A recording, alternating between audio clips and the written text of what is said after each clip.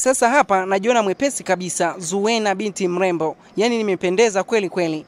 Nimejiangalia kwenye kioo kule saluni, nimeona nimependeza. Hizi bridges zimenitoa kweli, yaani nilikuwa navaa hijabu mpaka na kela. Sasa hivi hamna kuvaa hijabu, nina pesa, nina magari, nina makampuni, nimeachiwa yote ya kwangu hayo.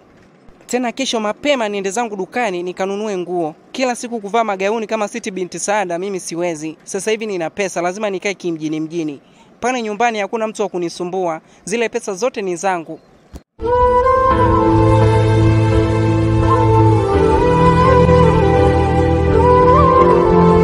Toka mwanangu wa damu afariki, zoena hakuja kuniangalia huku ndani, sijui ana maana gani. Atakuwa anashinda huko huko msikitini, atakuwa na huzuni kiasi gani huyu mdada? He, siamini macho yangu, hili jumba lote ni la kwangu. Kwa kweli mwaka huu nitawanyoosha, yaani ni mwendo wa kuruka majoka tu. Zuena,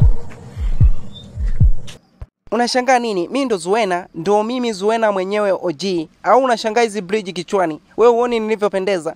Kila siku nilikuwa navaa maushungi hapa, mnanichukulia poa. Sasa hivi nina pesa, nina magari, nina makampuni, nimepewa mimi urithi humu ndani. He, hivi ni macho yangu au unaangalia vibaya? Zuena weye, shemeji yangu ambaye ulikuwa unaswali swala tano, sie tulikuwa walevi hapa, watuambia tuache pombe, tumewacha. Sasa hivi tunaswali, wewe umebadilika. Kwa nini? Au kwa sababu umepewa pesa? Yule Zuena wa jana ambaye mlikuwa mnamuendesha, mnanitesa, sasa hivi nimebadilika, nimekuwa mjanja, nimekuwa bisho. Sasa hivi ni mwendo wa kuruka majoka tu, starehe na mimi, sitaki shida, sitaki kusumbuliwa tena. Inna lillahi, hakika pesa ni wanaharaka kawa kicheche.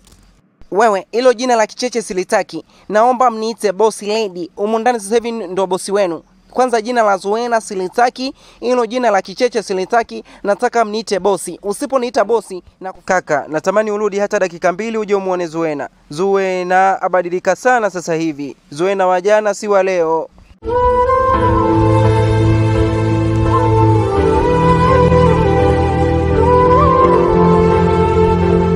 Sabra, vipi? Umevaa nini kichwani? Mbona sikuelewi? James, najua hujazoea kuniona nikiwa hivi, lakini sasa hivi nimebadilika. Nimekuwa mtu wa Mungu na swali swala tano, sasa hivi najistili. Sitaki kutembea tena kichwa wazi. Hivi wewe, we Sabra, hivi wewe umerogwa? Wewe wakuwa mtu wa Mungu kweli? Wewe una swali swala tano wewe? Wewe si ndio umenionyesha viwanja vyote wewe vya pombe, kuluka majoka, sijui kidimbwi wapi. Wewe si ndio ulikuwa mtaalamu? Wewe ulikuwa fundi wa vigodoro. Unanipeleka mimi kwenye vigodoro hadi usiku wa manane. Sasa hizi unajifanya unaswali swala tano.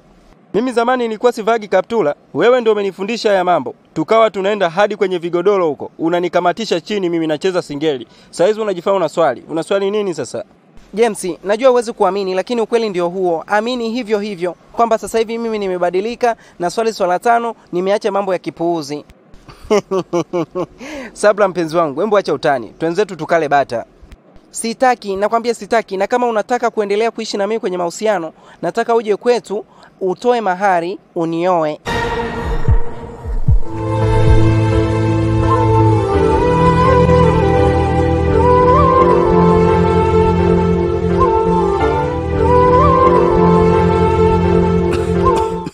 Zuena yuko wapi mwanangu? Hakika mama, sikushauri sana umwaze Zuena kichwani mwako. Zuena kabadilika sana sasa hivi. Zuena wa jana si wa leo. Zuena ushungi kaweka pembeni, nywele kati ya rangi.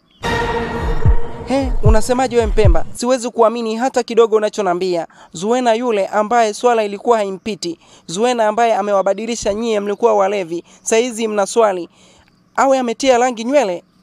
Ndio hivyo mama, huwezi kuamini, lakini ukweli ndio huo. Mie mwenyewe nilivyomuona mara ya kwanza sikuamini. Zuena kabadilika sana, tena kanitolea tamko. Tamko hilo lasema kwamba humunyosha E Mwenyezi Mungu, naomba umrudishe huyo binti arudi kwenye mstari wake wa mwanzo. Lakini Zuena, kwa nini abadilike haraka hivi? Tuseme matendo yake yote yale mema aliyokuwa anayafanya alikuwa anaigiza. Mama, Waswahili wasemaje? Pesa. Tumefanya makosa makubwa sana kumpatia mali zote Zuena. Jamani Zuena, kwa nini amekuwa hivyo? Mama, pumzika, hali yako sio nzuri. Hayo mengine tumwachie Mungu.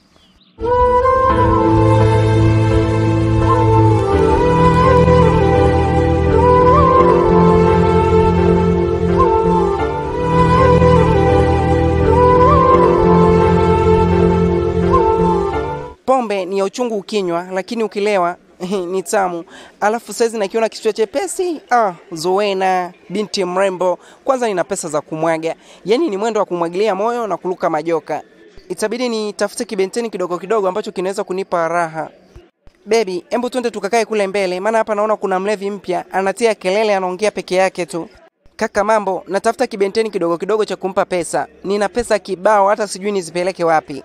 He, we dada, mbona huna adabu? Yaani unamtongoza bwana wangu, nipo hapa hapa. Hivi una akili kweli? Bwana wako ya nyoko, wewe una pesa gani za kumiliki huyo mwanaume? Sisi tuna pesa zetu. Mimi nataka nimpe pesa. Wewe una nini cha kumpa zaidi ya mapenzi tu?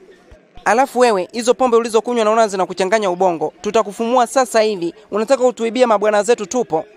Alafu we dada, naomba usintishe. Wapi kaandikwa jina lako huyo? Eh? Wewe umeweka minywele tu kama mikia ya pweza. Una pesa weza kumpa wewe mwanaume? Mwanaume handsome boy anaonekana anawaka. Alafu anatembea na dada ambaye huna kitu, huna pesa wala nini. Alafu we dada, nitakulamba makofi mpaka pombe zako zitoke hizo kichwani. Hivi unanijua vizuri? Mimi naitwa Mwahija.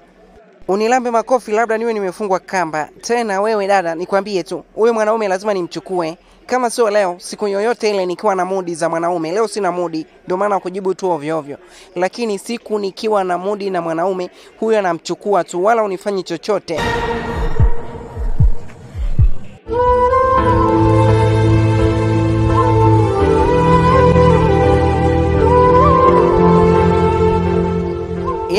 Bila Mpemba pombe hainogi kabisa. Acha nilewe nilewe, nimemisi sana wewe mwanaume. Itabidi leo nikitoka hapa niende moja kwa moja mpaka kwa Mpemba kwa sababu nakosa sapoti. Mwanaume mwenyewe saizi anaswali swala tano, kabadilika kabisa, yani hata sielewi hapa mwenyewe. Yani pombe naona haiendi kabisa. Bila Mpemba mi pombe haiendi.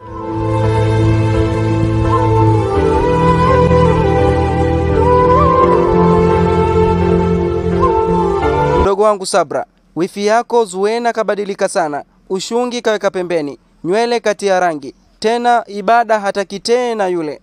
Amenisimulia mama yote hayo, lakini bado siamini. Zuena huyu wifi yangu ambaye ametutoa sisi kwenye giza na kutupeleka kwenye mwanga, saizi tuna swali, yeye ndo kabadilika, amekuwa hivyo, hata siamini. Natamani nimuone kwa macho yangu. Kwanza ukimuona unaweza kusema kwamba si Zuena, maana kabadilika sana hadi sura, nywele kati ya rangi. Lakini kitu kinachonsikitisha sana, Zuena anaambia mie kwamba hapa atatunyosha Sasa hapo kwenye kunyoshwa kaka yangu Mpemba atatunyosha kweli huyu? Maana hizi mali zote zilizokuwepo hapa ni zake. Sabra, wala usiogope, tumwachie Mwenyezi Mungu, maana yeye ndio mweza wa yote.